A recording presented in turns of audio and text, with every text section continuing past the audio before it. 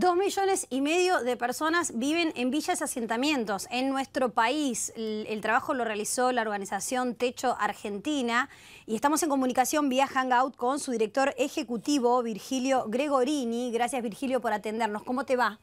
Hola, ¿qué tal? ¿Cómo andan por ahí? Bien, muy bien. Bueno, contanos cómo llegaron a la conclusión de toda esta cantidad de gente que vive en una situación tan precaria. Dale, para, empezar, hago una, pequeña acotación. En realidad, lamentablemente no es de toda la, Argentina porque no hemos ah. relevado todo el país. Eh, hay parte del territorio que nos, que nos queda abarcar. Ojalá para, para, la siguiente edición en dos años, con el apoyo ojalá de los gobiernos provinciales y nacionales, podamos hacer un reglamento nacional porque es información que todavía no, no está. Y bueno, después, en el fondo, este estudio surge del, del, o sea, se hace propiedades en Chile, pero ¿por qué surge? Porque recorriendo el territorio y Techo lo que hace es, eh, a partir de esa vivienda de emergencia que construimos en la primera fase, nos quedamos trabajando en las comunidades y entendimos que, que hay algo que no, que no estaba pasando, es que hay información de los asentamientos que no era pública, ¿no? que no era visible. Hay algunos estudios eh, muy buenos de academias en diferentes países, pero, pero no había información pública y es muy difícil tomar buenas políticas públicas o tomar decisiones estructurales para problemas estructurales cuando no hay información. ¿no? Entonces, entendiendo que podíamos de este lado colaborar y aportar con información, vimos posible hacer este estudio que ya en Argentina va por segunda edición nacional. Este año lo ampliamos al resto del territorio donde tenemos oficina. O sea que, perdón, este, este estudio abarca siete provincias, por lo que estoy leyendo.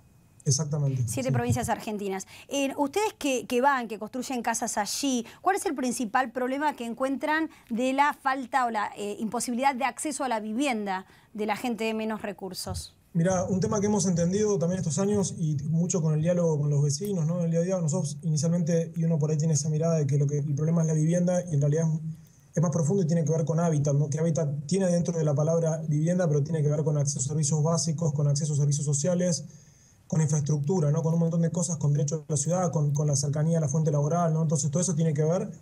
Nuestro, nuestro aporte inicial es muy, muy básico, ¿no? Estamos hablando de, de, de una vivienda de madera, de 6x3, lo que hace es mejora transitoriamente una situación de emergencia habitacional, por eso es una vivienda de emergencia, pero de ahí entendemos que hay, que hay una problemática mucho más profunda, ¿no? Y, y, el relevamiento este releva una parte de eso que tiene que ver con, por un lado, la tenencia irregular de la situación nominal de la tierra, y por otro lado, eh, la, la, falta de acceso eh, a servicios básicos de manera formal, ¿no? Porque claramente en los asentamientos la, la gente como puede, va, va, haciéndose de, bienes que hoy son básicos para vivir. Claro, en, bueno, básicamente cuando hablamos de, villas o de asentamientos, estamos hablando de lugares a donde no te hacen la vereda, no pasa, eh, no está, no está el tendido de, electricidad o no está bien hecho, o no hay cloacas, o apenas están llegando.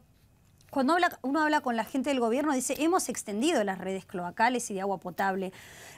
Perdón, este, ¿esto ustedes lo ven, lo registran?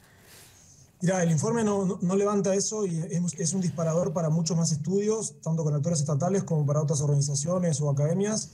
Eh, el index, o sea, los datos oficiales sí muestran un avance, digamos, uno ve las coberturas de servicios, hay un avance, pero claramente no alcanza. Lo que uno ve eh, con este informe es que, que, no alcanza porque si en ese territorio hay 1.800 asentamientos, eh, claramente no hemos llegado. Y acá un llamado también a la responsabilidad que hacíamos ayer en el Congreso porque como argentinos solemos simplificar, ¿no? Y, solemos tender a esperar que venga alguien mágicamente, solemos tirarle todas las responsabilidades al Poder Ejecutivo, sea cual sea el nivel, y creemos que, que hay un problema más de fondo, ¿no? Que el Ejecutivo claramente tiene cosas que decir y que hacer en los tres niveles, pero también los otros poderes del Estado, tanto el judicial como el legislativo, ¿no? El legislativo tiene muchas, mucho por hacer en lo que es cambiar reglas de juego y entendemos que mucho los problemas de acceso justo al suelo y al hábitat tienen que ver con reglas de juego que hoy están mal, que hacen que sea imposible para muchas de las de nuestros, de nuestros conciudadanos que puedan acceder de manera formal al suelo y encima hasta compiten eh, en valor con, con, las tierras que más valen, ¿no? sobre todo en las grandes ciudades donde empiezan a prosperar los, los, los countries y de repente las, las clases populares que se llevan a, las afueras por conseguir terrenos más baratos, de repente están, están teniendo que competir en mercado se les encarecen sus tierras porque allí, bueno, es probable que se puedan construir barrios privados. O sea que decís que desde las legislaturas provinciales, por ejemplo, se pueden eh, impulsar leyes de regularización de, como, como fue, como es la ley de usucapión, ¿no? Que después de 10 años de tenencia y pago de, de, impuestos, este, eh, se habilita a la persona a ser el titular de la tierra. Bueno, ese tipo de, de leyes que podrían habilitar a tener una titularidad de los ocupantes irregulares. Sin duda, y acá hay, acá hay dos partes. Eh, por un lado, digamos, entender que, que yo no soy especialista legal, pero he aprendido mucho trabajando en este espacio, la importancia de que las provincias, ¿no? la provincia tiene mucho que decir porque los sistemas, las tierras eh, tienen mucho que decir la, la, legislatura de las provincias, pero también la nación a la hora de proponer, ¿no? y hay proyectos de ley que ya están presentados por segunda vez en el Senado y en la Cámara de Diputados también, por este espacio habitar del que somos parte, que tiene que ver con esto, ¿no? con ordenamiento territorial, con regulación dominial de los asentamientos y de las tierras, con producción social del hábitat, ¿no? romper un poco la, lógica eh, latinoamericana de vivienda llave en mano, cuando muchas veces la problemática de vivienda, lo vemos nosotros en los asentamientos, no tiene que ver con construir todas viviendas nuevas, sino en muchos casos acompañar y mejorar la vivienda que las familias ya autoconstruyen. ¿no? Claro, claro. Bueno, hubo en, la época del dualdismo, así como siempre destacamos este, errores, hubo un plan de autoconstrucción de viviendas, me acuerdo, en la provincia de Buenos Aires, en los que solo se les daba en, eh, los, las herramientas, los materiales, este, y la gente podía así construirse su casita. No, no, no es que hay una sola manera y que es a través de las viviendas populares este, construidas por el Estado, ¿no? Como que si uno piensa, hay un montón de otras armas que se pueden este, tomar, además de llevar el Estado a esos lugares, ¿no? Sin duda, y, además lo importante es el Estado como, como, como regulador ¿no? de mercado. Hay, hay, experiencias muy positivas.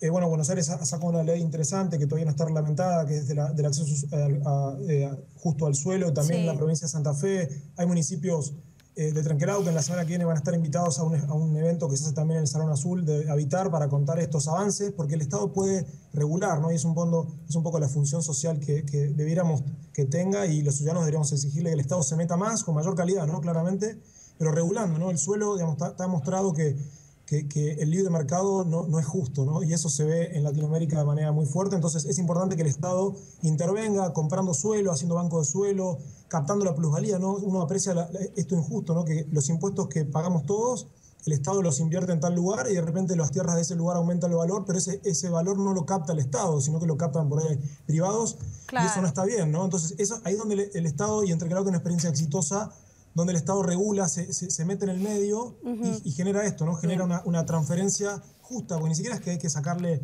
a alguien, sino que es distribuir eh, equitativamente los recursos que todos aportamos, ¿no?